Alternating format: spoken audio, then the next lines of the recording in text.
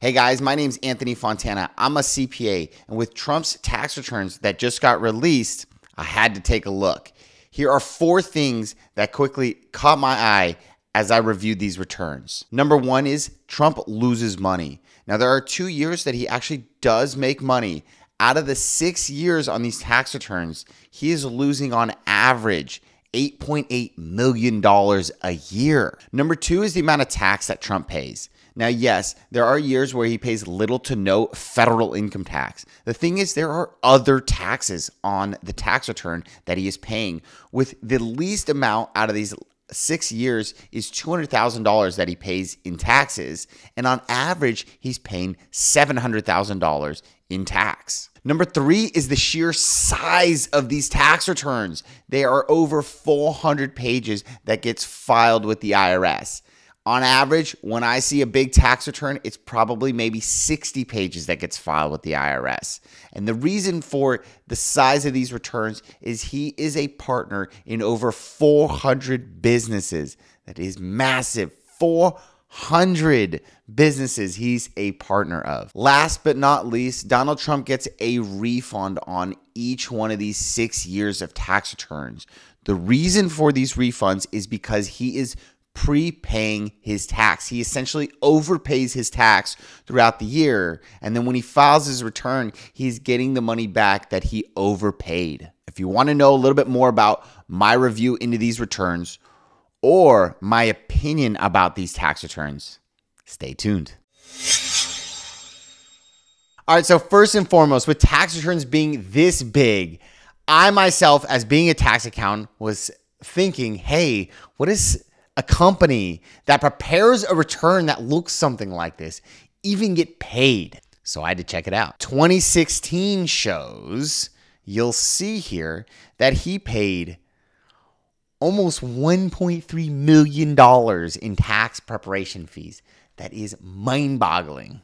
Okay, so I do want to address one thing here. I've been reading a lot and researching here uh, a lot of these news organizations and even the House Ways and Means Committee reported, right, that Donald Trump is essentially not paying that much in what we call federal income tax. And even in 2020, there was zero in federal income tax paid. And I believe it was uh, 2016 and 17 only paid $750 in, again, federal income tax. Now, this may be correct. It actually is correct. And I did look, did fact check that. That is correct. But I think that is not the important number, what should be reported. It is misleading, and I want to show you why. So, what I think the more important number that should be reported is the total tax liability that is on the tax return.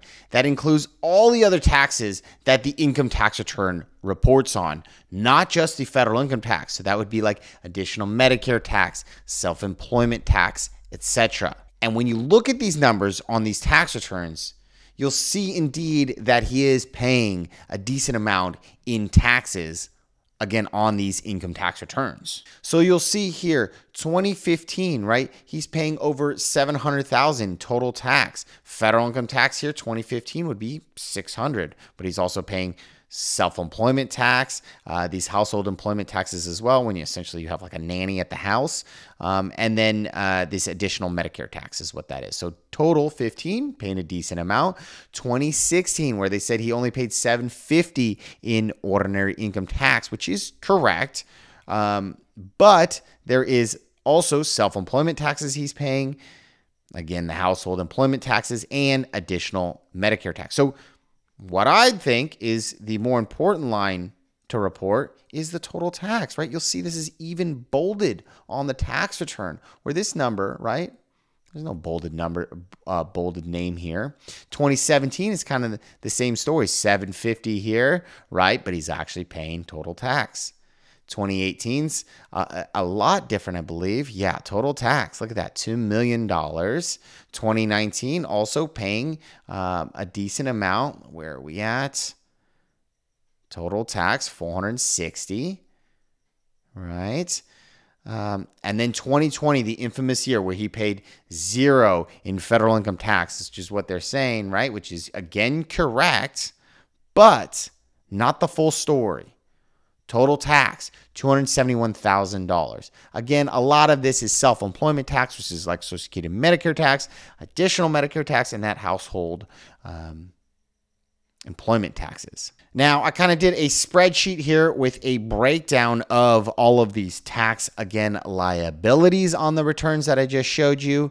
But you'll see, right, in average per year, he's paying about 700,000 in federal taxes here on the tax return. Now, I'm giving some credit to these tax returns in terms of, okay, maybe they reported that there wasn't much taxes on his returns when indeed there were. But I'm going to go the other way now and kind of criticize these things. Hang tight. Okay, another very important line on tax returns is what we call the adjusted gross income. Okay, this is usually the line that you use when you apply for federal programs like Covered California, which is like the health insurance uh, subsidy program that they have, or let's say for FAFSA, the uh, federal program for colleges and universities for scholarships and grants. Okay, you're going to look at the adjusted gross income is what they're going to be asking for. Now, if we look at that on these returns, doesn't look so hot. There's a lot of negatives on these returns in the millions of dollars, okay? And you'll see each one of these years, right? 18, he had a good year. 19, still decent year. 2020, bad year here. An average, of these six years of $8.8 million losses on the tax return. That doesn't look good. Take a look here, right? You'll see, for instance, 2015, $30,000 loss. 2016, again, big loss. 17, man, Massive losses here. 18 was the good year. You should see AGI. There it is. Right? Good year there. But again, just not does not look good. $4 million gain in 2020, I believe, was a loss year here. If you ask for my opinion on all these losses, when there's smoke, there's fire. Man, you got to take a look at these to see if this is legit. Donald Trump has over 400 business entities on his tax returns. 400 entities. That is so many. And for these entities to be netting losses doesn't make sense to me. You don't go in business to lose money, you go in business to make money. If there are year over year just losses, when there's smoke, there's fire, if you ask me. Now, another thing I've seen is that Donald Trump is getting refunds on all of these tax returns. Now, essentially, the reason he's getting refunds is because he is overpaying tax on estimates or there are rollovers of these refunds that are going to the next year, applying to the next year. And that's why he's getting the refunds.